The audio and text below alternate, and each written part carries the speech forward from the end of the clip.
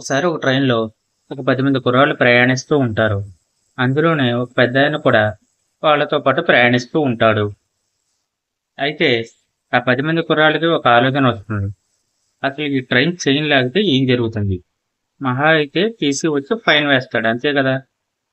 మనమందరం కొంచెం కొంచెం వేసుకుని కట్టేద్దాం అనుకుని వాళ్ళందరూ డబ్బులు తీసి ఒకరి దగ్గర పెడతారు.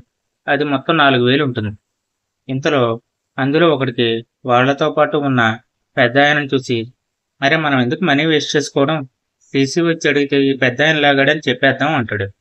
అనుకున్నట్టు వాళ్ళు చైన్ లాగుతారు టీసీ వస్తాడు. టీసీ వచ్చి చైన్ ఎవరు లాగారు అని అడుగుతాడు. వెంటనే ఆ పది మంది కుర్రాళ్ళు ఇక్కడ ఉన్న ఈ పెద్ద ఆయన అని చెప్తారు. అప్పుడు టీసీ ఆ పెద్ద ఆయన దగ్గరికి వెళ్ళి ఎందుకు చైన్ లాగారు? అని అడుగుతాడు.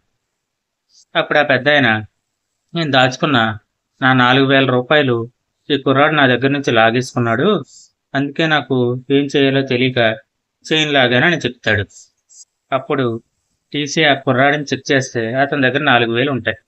వెంటనే టీసీ ఆ కుర్రాడిని తిట్టి ఆ నాలుగు వేలు ఆ పెద్దానికి ఇస్తాడు. ఫైనల్గా ఈ కథలో నీతి ఏంటంటే మనకి ఎంత బలం ఉంది మనం ఎంతమంది ఉన్నాం అని కాదు మనకి ఎంత అనుభవం ఉంది ఎంత తెలివి ఉంది అనేది ఇంపార్టెంట్. Thanks for watching.